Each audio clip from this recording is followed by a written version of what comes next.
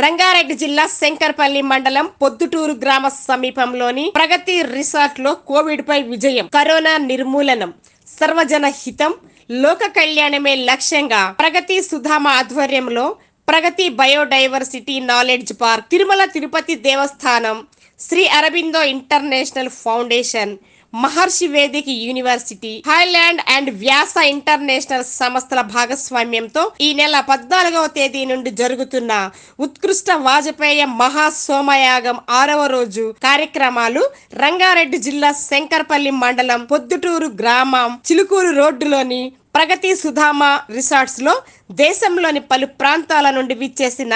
ఉద్దండులైన వేద పండితులు ఆ హితాగ్నుల వేద మంత్రాలతో ఘనంగా జరిగాయి.